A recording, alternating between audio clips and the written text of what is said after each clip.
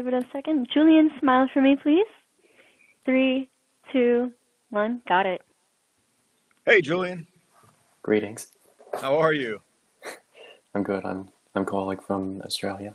Oh, really? Oh, man, long way. Is it? Are you in the middle of the night over there? I know it's uh it's uh 10 a.m. here. Okay, very cool. Well, it's good to see you. Good to meet you. Good to meet you too. Yeah. Do you have any questions? Well, I want to say that um I really love you as Anakin. Thank you. I I grew up uh, watching the Clone Wars when I was a kid, Oh, and very cool. and I really enjoyed uh, watching the the final season of uh, Clone Wars and uh, Tales of the Jedi. Ah, good. I'm, I'm glad you liked it. Yeah, that was. Uh, I, I was happy to come back for that. I hope they do more. Yeah. I don't know. I truly don't know if we're doing any more, but I would love that. Yeah, Anakin's uh, one of my uh, favorite uh, Star Wars characters, Oh, very cool, man. I'm happy to hear that.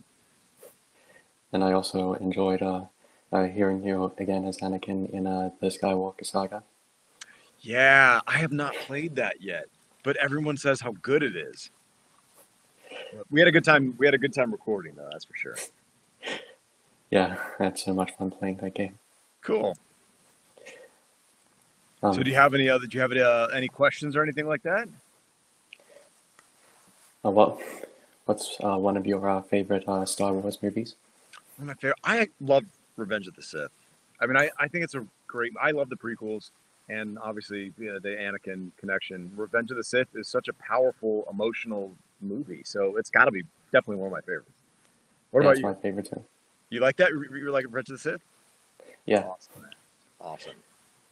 Well, that's cool. Well, hey, I'm, I'm glad I got to talk to you.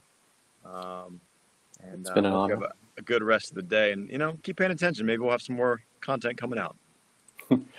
take care. All right. See you later. See ya.